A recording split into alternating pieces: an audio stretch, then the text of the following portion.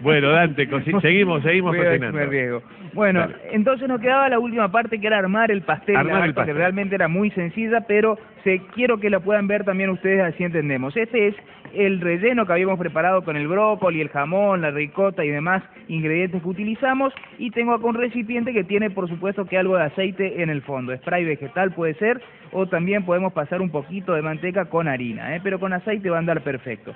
Depositamos el relleno entonces en la base de nuestro bowl, puede ser cuadrado, redondo, puede tener la forma, si desean, de una terrina, también podría ser con forma de hasta una budinera, si Está bien. No, después queda- haceme uno cuadradito para mí. bueno, como no, no hay ningún problema. Y con los arbolitos del brócoli, con la parte de arriba, con la flor, lo que vamos a hacer es agregar sobre nuestro pastel. ¿eh? Y ahora lo que hacemos es presionar un poco para que de esta manera se introduzca dentro de la masa y quede agarrado y de esta forma cuando crezca también lo tome un poco más. Y lo llevamos al horno, que es un horno que está a unos 200 grados de temperatura, horno entre máximo y mínimo, es decir, medio, y lo dejamos ahí unos 20 minutos aproximadamente hasta que introduzcamos un cuchillo y salga limpio este. Sí. ¿eh?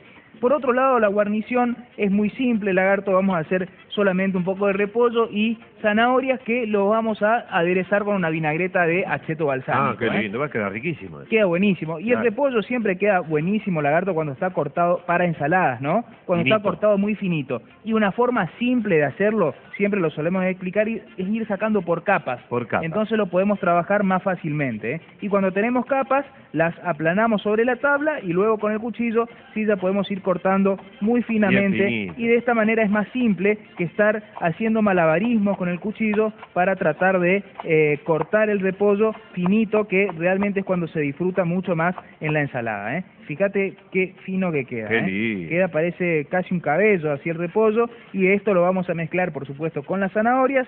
Yo al final le voy a agregar el, el acheto balsámico y la vinagreta que vamos a preparar con él y va a quedar exquisita nuestra ensalada también. ¿eh? Bueno, Así que ya tenemos el plato listo, el, atar- el pastel que está en el horno y la ensalada que es muy simple de hacer. ¿eh? Bueno, fantástico, Dante. Entonces vos mandás eso al horno, preparamos La ensaladita la ensaladita y y después ya comemos. presentamos el plato. Y después así es, comemos. ¿eh? Bueno, ya vengo, Los ya vengo. espero. Bueno,